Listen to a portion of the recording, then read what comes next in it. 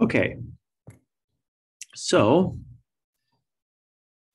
in this lecture, I'd like to talk about heat engines and in particular, the Carnot engine.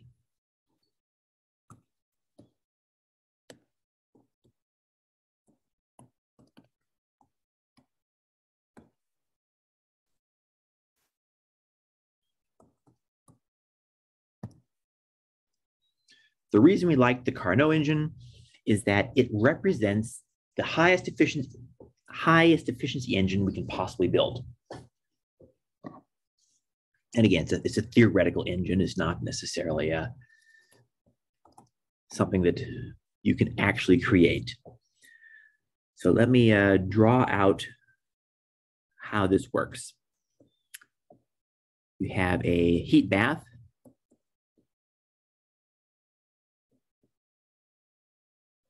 at constant temperature, T2.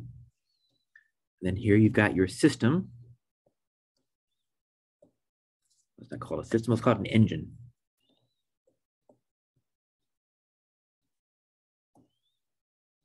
And then here we have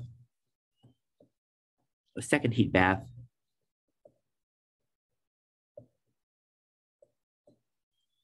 And this is at a second temperature and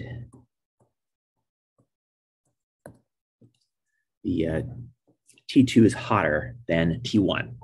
Okay, so we start out with the engine in its neutral state or its uh, default state.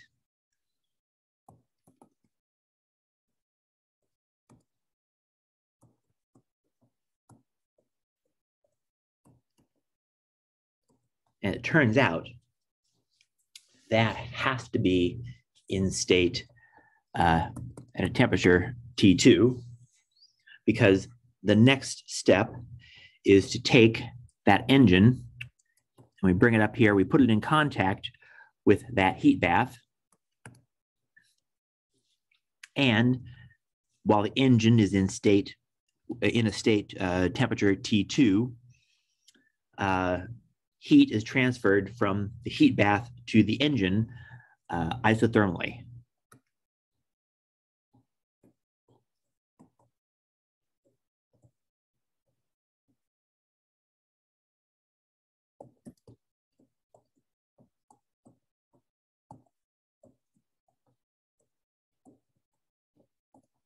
And that heat we're going to quantify as energy uh, or heat amount Q2.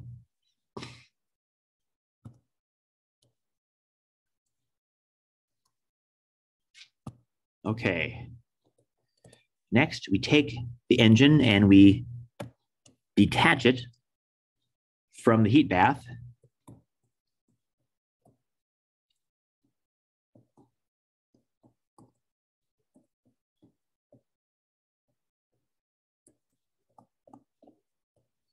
And while it's sitting alone, we take and we extract work from the engine. So we use that some of that heat that we put into the engine to do work.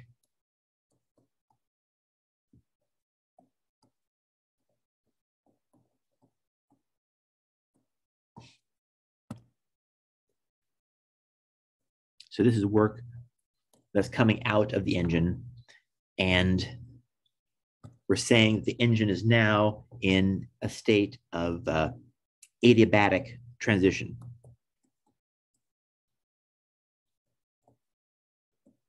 Right, so here we had an isothermal transformation, here we've got an adiabatic, and you can see, again, those previous lectures, why we focused on the special cases of isothermal and adiabatic, uh, which are just special lines within our pressure volume space. But here, we got this work coming out. Uh, and in the process of doing this, the temperature goes from T2 to T1. Okay, next step. Well, here. We put the heat bath in contact with a second heat bath, a low temperature heat bath, and we remove any leftover heat that wasn't expended in work into that heat bath. And this is an isothermal transition.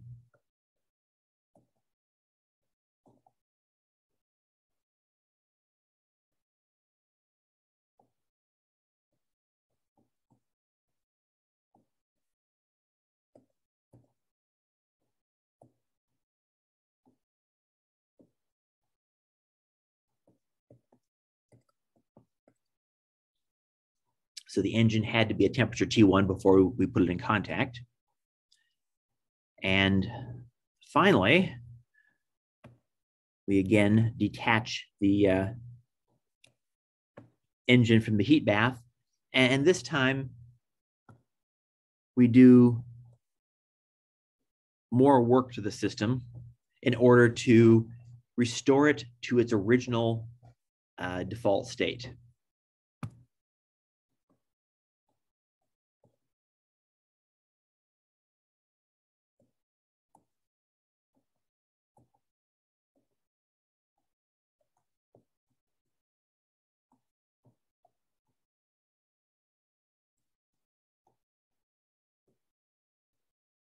And that necessarily entails going from temperature one to temperature two.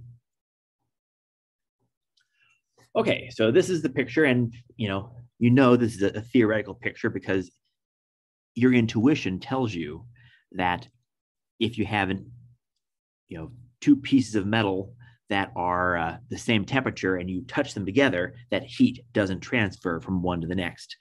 Uh, but in this case, we're allowing it because this is a non-spontaneous process. So we're essentially uh, allowing for heat to flow, or I should say, we are causing heat to flow by, you know, putting heat into the engine from the heat bath. Right? We talked before about spontaneous and non-spontaneous processes. Well, this is not spontaneous. Uh, but nonetheless, we can follow it through the pressure volume uh, diagram. And we will do so uh, later on in this lecture. Okay, so this is the engine that we've defined, and this is the uh, called the Carnot cycle.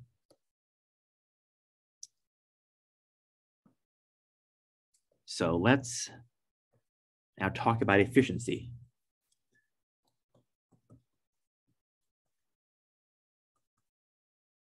Efficiency is defined as the work obtained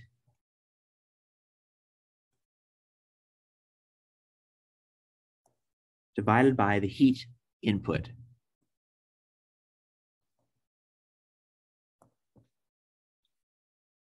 So that is uh, work over Q2. Now, the entire cycle closed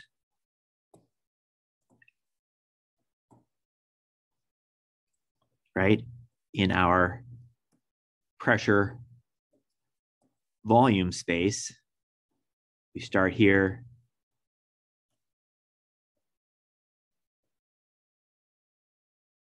And we traced out this loop, right? So we know the area in that loop is the amount of work done.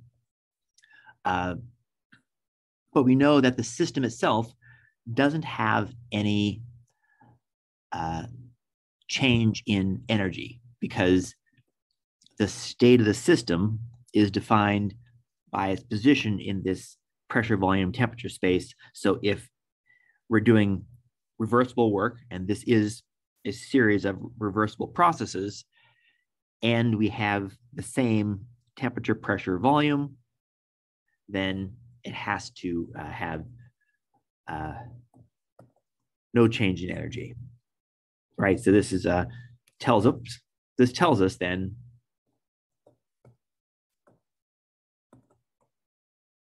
that the uh, heat that is put into the system minus the heat that goes out of the system must be equal to the total work that's done by the system.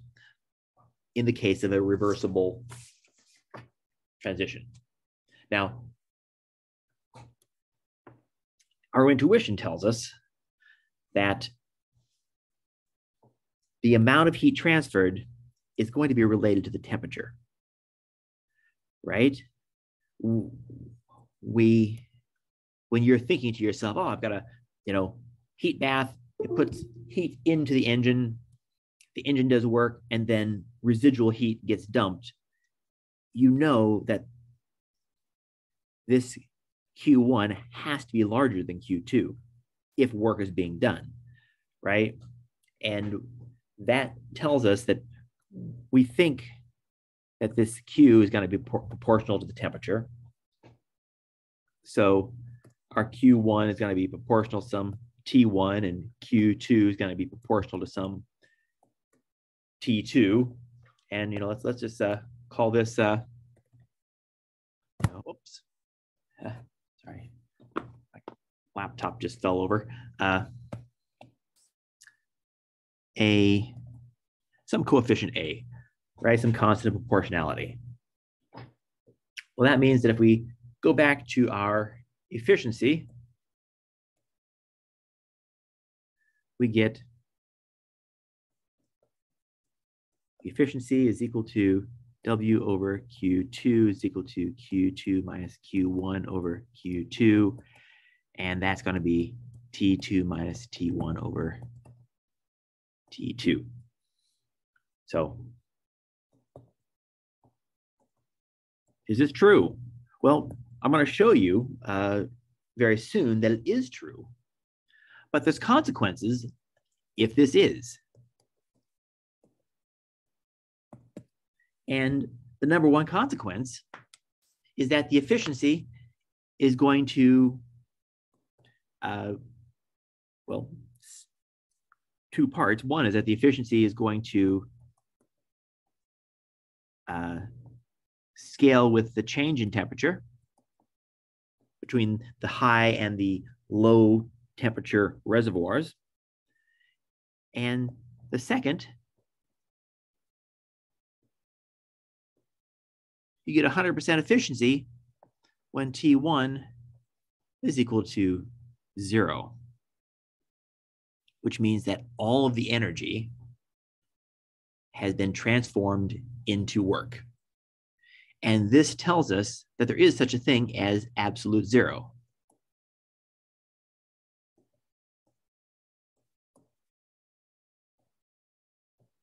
And uh, I've seen a couple small little uh, proofs from uh, uh, showing, you know, how this Kelvin temperature scale uh, works out.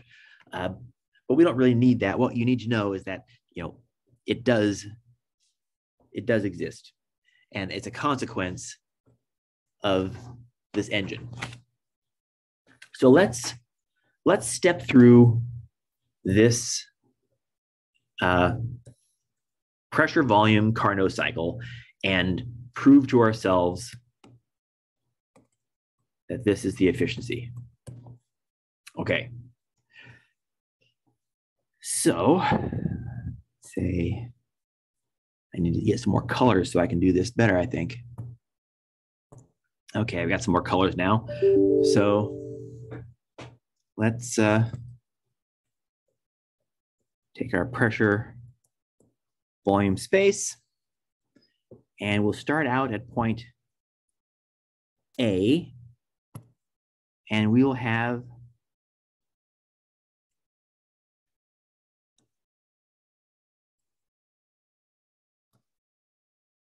isothermal transition holding the temperature constant at T2, and that will take us to point B. So A to B, T equals T2 constant. Well, we know that means for an ideal gas that delta U is zero.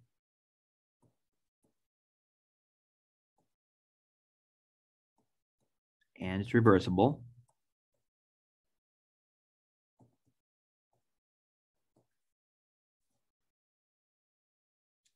Which means that QAB is equal to WAB is equal to RT2 natural log of VB over VA is also equal to RT2 natural log of PA over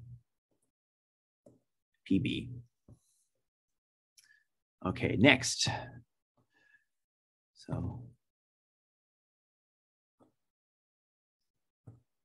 next we'll have a adiabatic transition.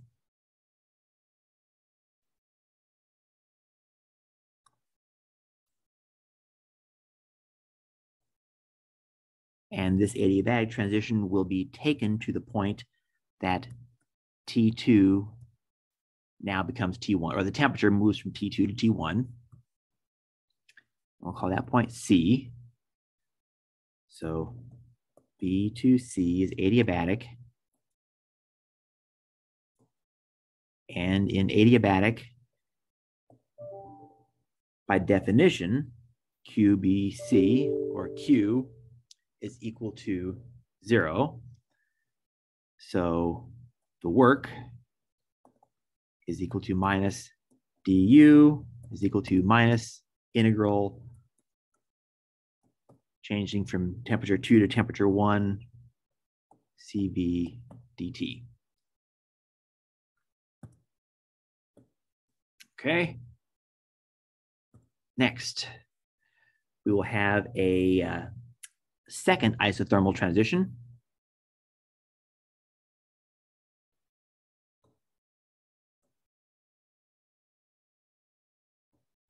And this is going to be at temperature T1. Is going to go from state C to state D. So C to D.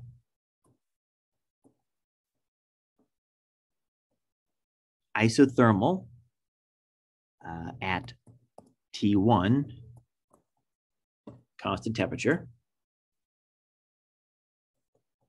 du equals zero again. So Q C to D is equal to W, C to D is equal to R T1 natural log VD over VC is equal to R T2 natural log of V, uh, sorry, P uh, C over PD. Okay. And last, we transition from D back to A. And this is adiabatic work. That's from T1 to T2.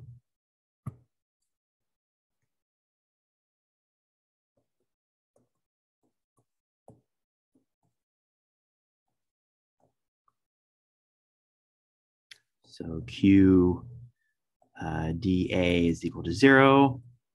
W dA is equal to minus du is equal to minus the integral going from T1 to T2 CV dt. Okay, those are our four paths. So that means our efficiency is W over Q2 is, and I'll write it here, R T2 natural log of V B over VA minus the integral from T2 to T1 CV dt plus RT1 natural log of VD over VC minus the integral T1 to T2 CV dt. Okay, well, we can take and switch the order here on, on this second integral and make this be T2 to T1 and that changes the sign out front, which means that these two are going to cancel out, which means, whoops. Ah, sorry. Yeah, so that those cancel out. Sorry. And this is all over uh, Q2, uh, which is uh,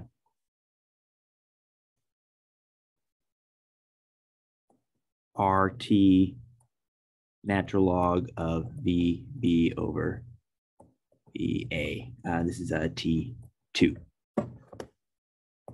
Sorry. So that uh, Q2 is uh, this isothermal transition, right? That's the, uh, whoops. Oh, that's crazy.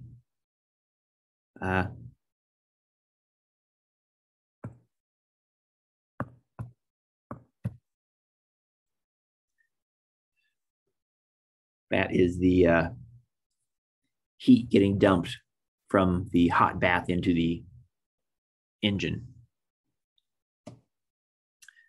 Okay. So is equal to T2 minus T1 over T2 if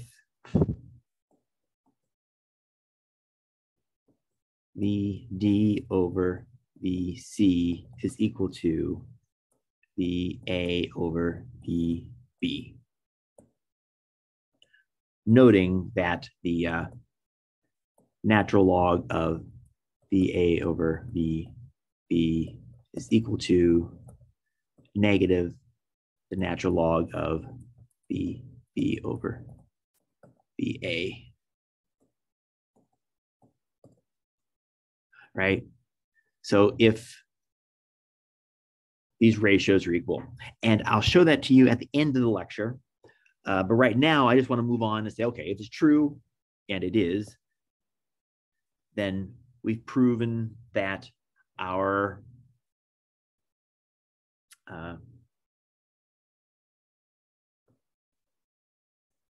efficiency does have this relation for the Carnot cycle. Uh, what are the conclusions here? Well, we know that the heat transferred is going to be proportional to the temperature. We know that uh,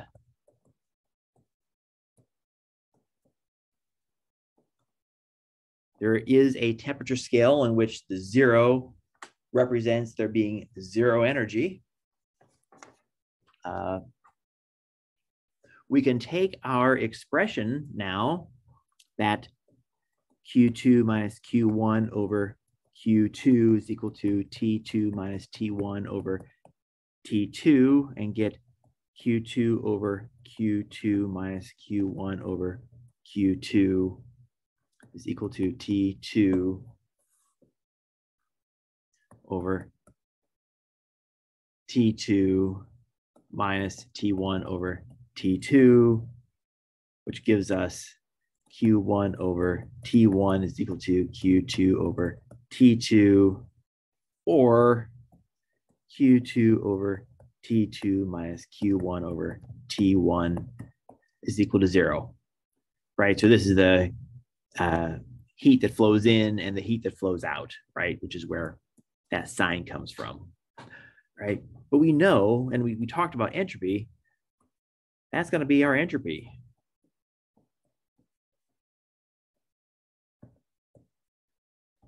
Uh, now, what else can we tell? Well, we know that any loop can be broken into a sum of Carnot cycles. And what I mean is that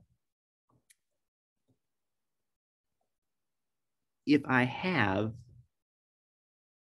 oops, terrible drawing, uh, PV, if I have a Carnot cycle like that, I could also express it as a sum of two cycles that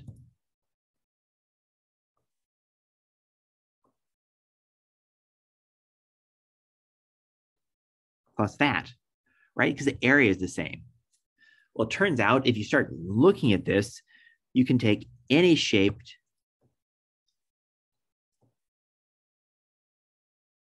any shapes. And whoops you can start breaking it into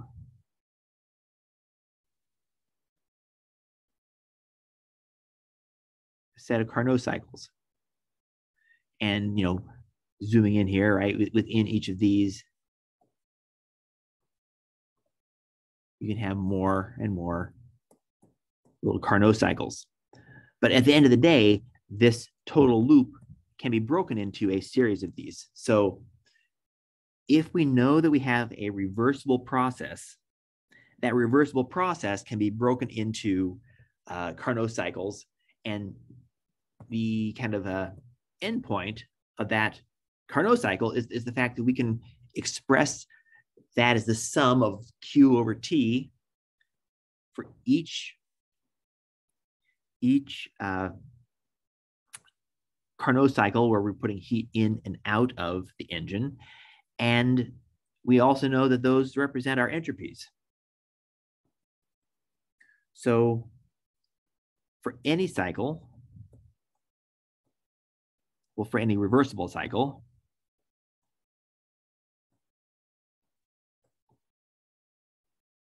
for any reversible cycle, we can get a sum of Q over T equal to zero. And if we take this and we've got some infinite number of cycles, because we, we break it into the infinitesimal limit, this then becomes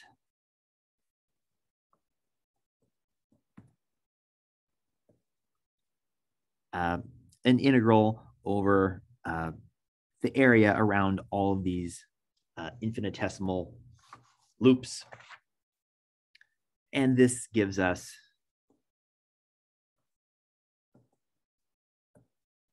our expression for that entropy. So ds is equal to del q over t is equal to q. In the case of a reversible process, this is what we have.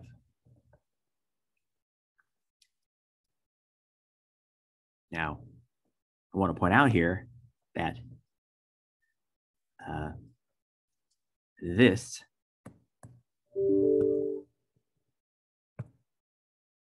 is if reversible.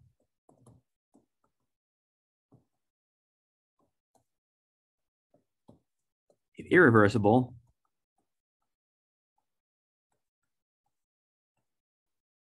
then you're going to have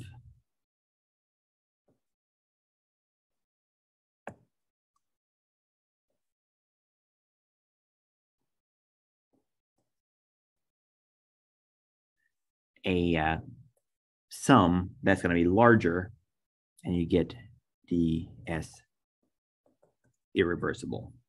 And we know from our own intuition that this engine that we proposed is, well, it's a theoretical engine, right? Because if we want heat to spontaneously move from the heat bath into the engine, we need to have a temperature gradient. And if you want the excess heat to flow from the engine into the waste heat heat bath, again, we have to have a temperature gradient. And we know that extracting work uh, in an adiabatic fashion like this, it, it doesn't it doesn't work. So we do expect uh, irreversibility, and that's going to be a large part of the the rest of this class.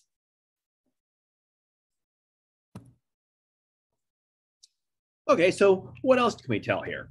Well, the entropy is going to tell us the maximum work that can be done during a transition.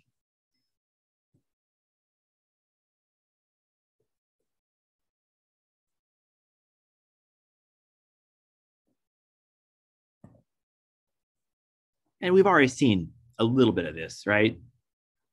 Whoops. Ah. Okay. So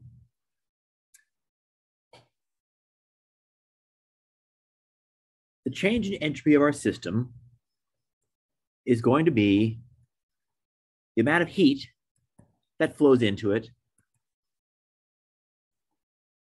plus the irreversible uh, entropy due to degraded work.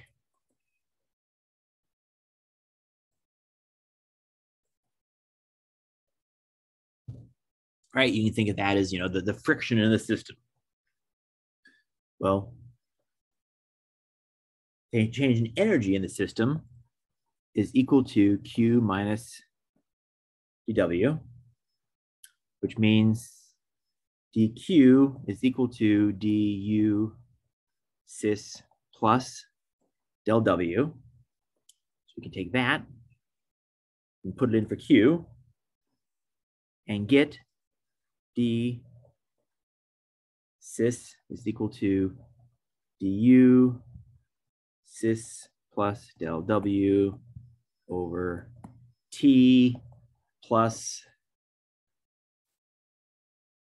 D irreversible. So dw or del w is equal to t d cis minus du cis minus t d irreversible. So this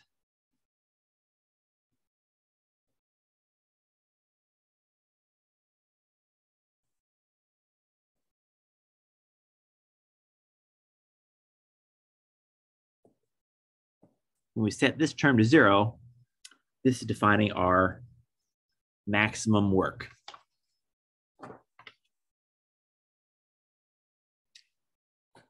So now I'm going to kind of come in here to the uh, well, I guess what you might call the punchline of this, combining the first and second laws.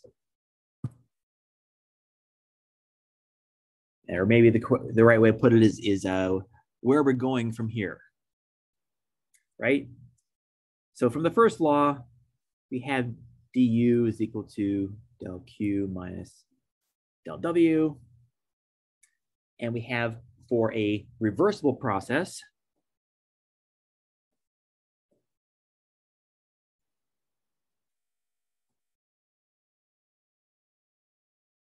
ds is equal to del q over t, meaning that del q is equal to t ds. And we have our work, del w is equal to p dv plus dot, dot, dot, dot, dot. All other things not heat which means that du is equal to t ds minus p dv.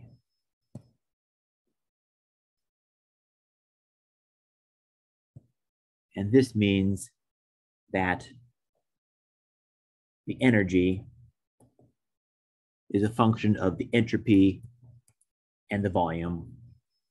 And it means that we can write the total differential du is equal to du by ds dv, uh, v ds plus du by dv s dv. And this is our temperature, and this is our pressure.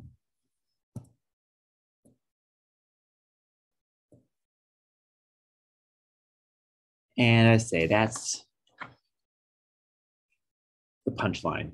And as a bit of a precursor, it's worth pointing out that we can write u as a function of s. We can also transform coordinates and we can write s as a function of u and v. If we wanted to, we could then have the differential S is equal to ds by du v du plus partial of S with respect to V U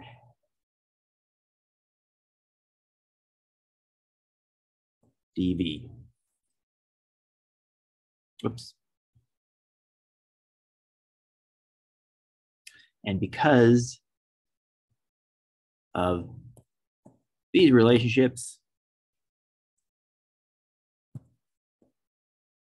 that means that we can have ds is equal to 1 over t du plus p over t dv.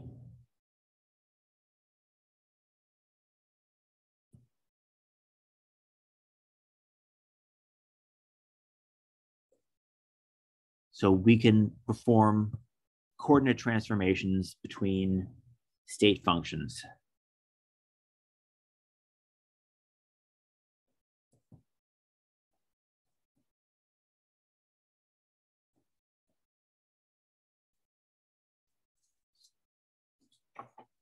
And since we've come to this point in the course, uh, I'd like to you know, make a kind of a more formal statement of the first and the second law.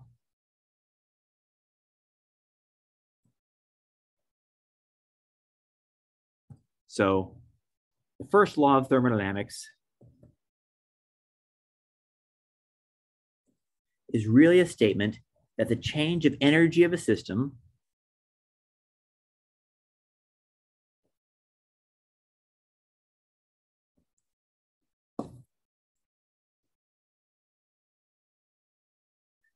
uh, when transforming states,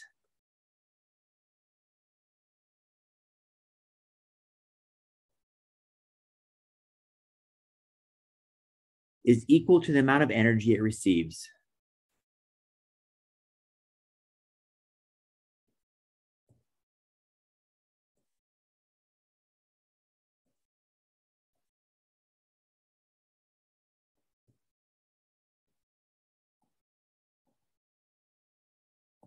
from the environment.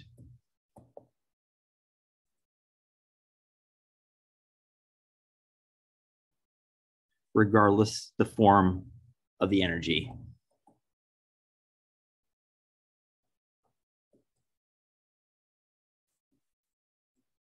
Right? So this is where our du is equal to q minus del Q, del W. That's where this came from, right? We're just saying that heat and work can be treated on equal footing in terms of their capacity to add or subtract energy from the system. Okay. Second law.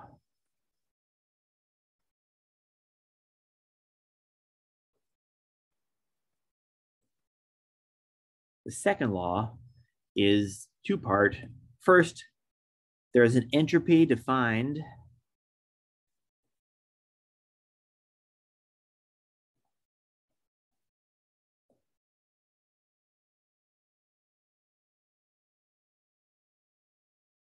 ds is equal to del q reversible divided by t. So this has this entropy is defined as the heat that flows into the system in a reversible fashion, and this is a state function.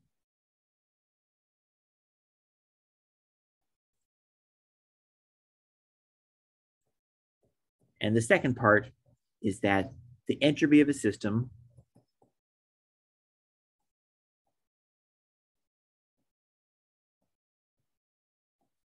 let's call it a uh, closed adiabatic system.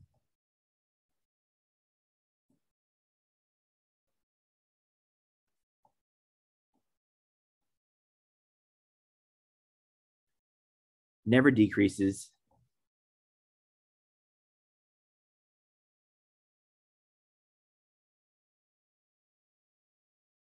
But can increase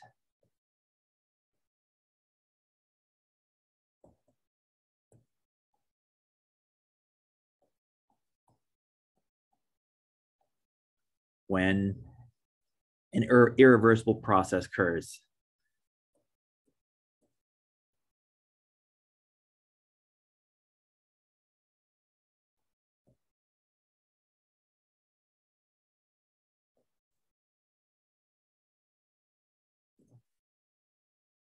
And this is, I think, a, a fairly fair way to state the first and second laws.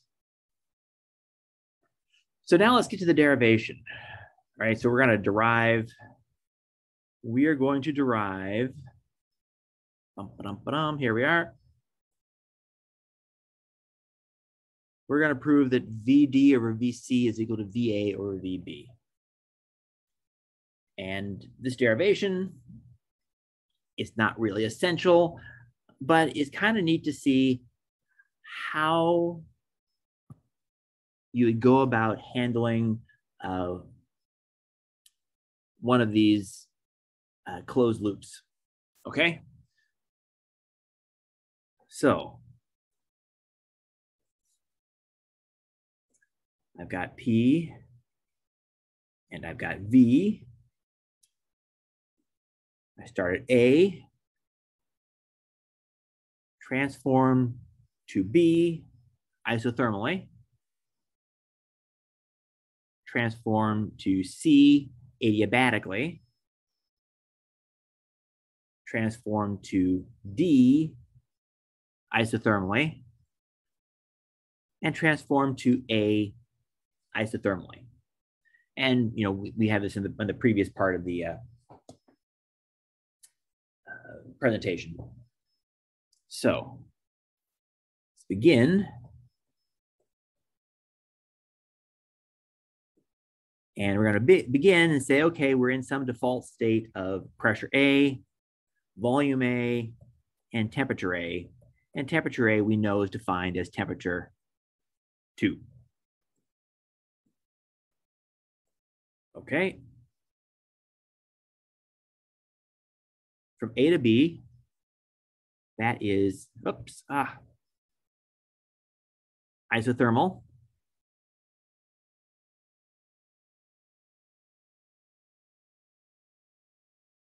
Meaning it's being held at T2. Okay, well, we don't really have a definition of what's happening, but what we're going to do is we're going to carry with us a delta P.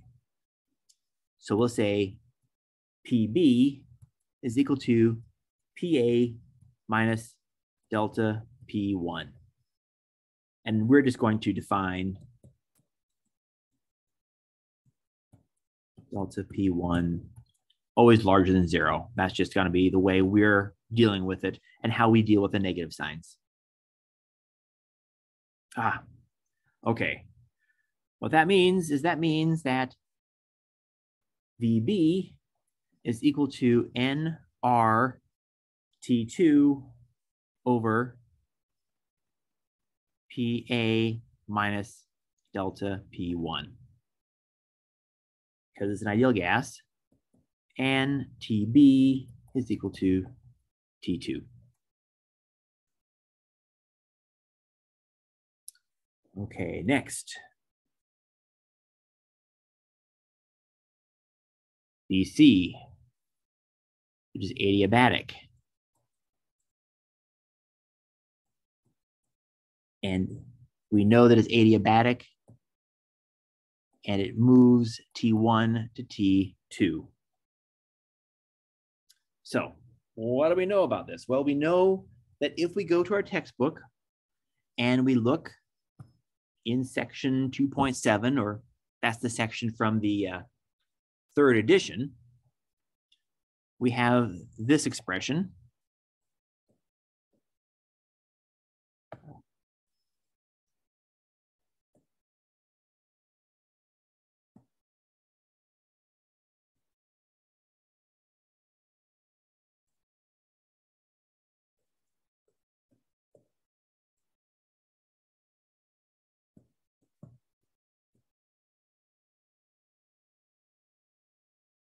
Gamma minus one. Okay, what that means is it means that we can write by combining uh, this side and that side of the equation uh, that VC is equal to VB over TC over TB raised to the 1 over 1 minus gamma. And I'm just going to take that term on the bottom and I'm just going to call this B B over Z. Just as a shortcut. Okay, I can also write from this expression that PC is equal to PB B B gamma over VC gamma, right? This was our uh, uh, P1 V1 gamma is equal to P2 V2 gamma equals constant. Okay, so that means that coming back up here, I have PC is equal to PB V B gamma over VC gamma.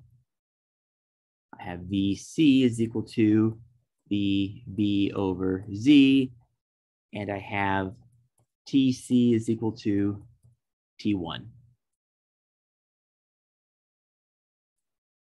Okay. Now, continuing, I have the transition C to D, which is isothermal.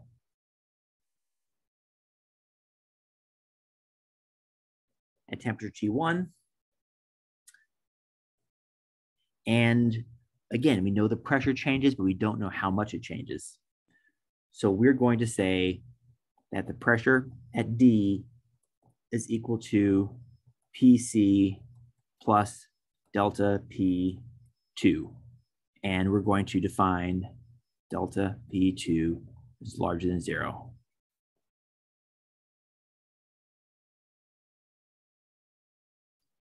Again, that's just the way we're going to, to carry these through, and you'll, you'll see they, they go away at the end, which means VD is equal to nRT1 over PC plus delta P2 TD is equal to T1. Okay. And last, we have to go back to A. And I'm gonna draw this here.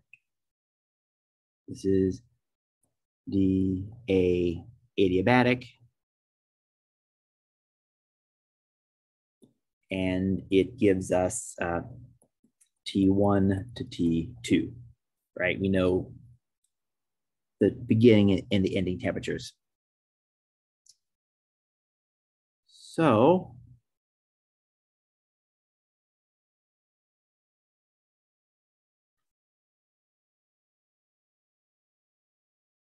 let me expand on this a little bit, or, or let me say uh, reuse this.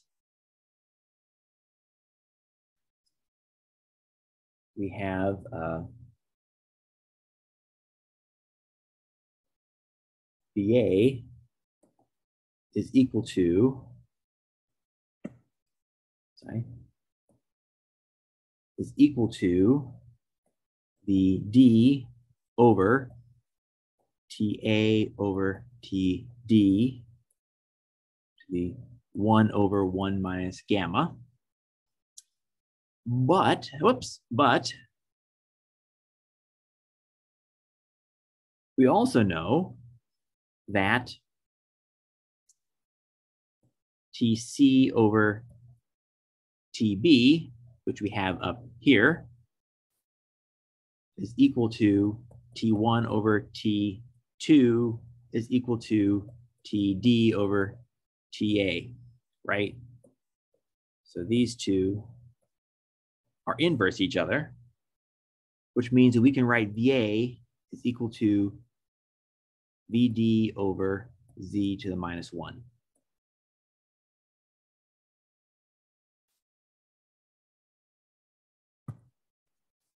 So we have uh,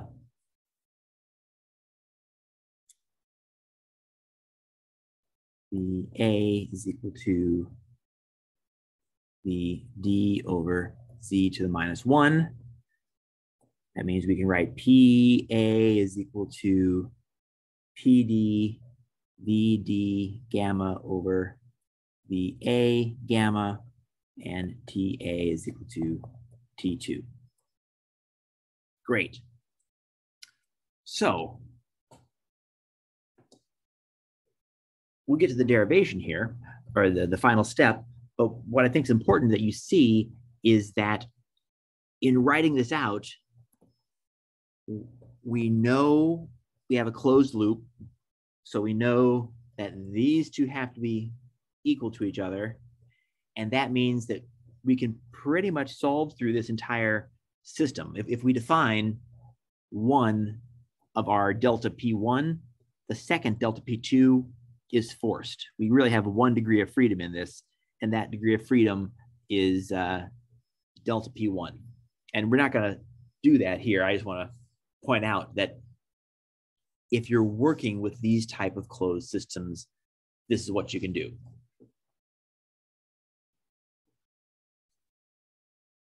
So next step. Well, the derivation is to prove that VD over VC is equal to the A over VB. So we can test that. NRT1 over PC plus delta P2 over VB over Z is equal to, all right, coming from the other side, VA over VB is the d over Z inverse NRT2 over PA minus delta P1. Okay, so if this is true, then we can write NR T1 over PC plus delta P2 times NR T2 over PA minus delta P1 is equal to VD over Z inverse VB Z. Great, which means that they're going to cancel each other out. and we get NRT1 substituting in here for, for uh, uh, VD and VB, uh,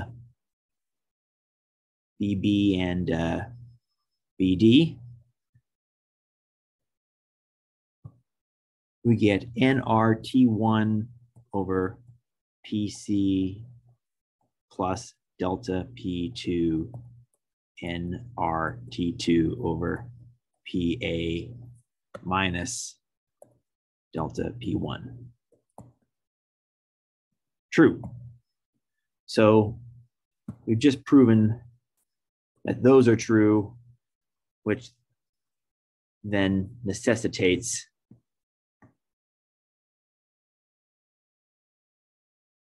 that our derived efficiency is also true.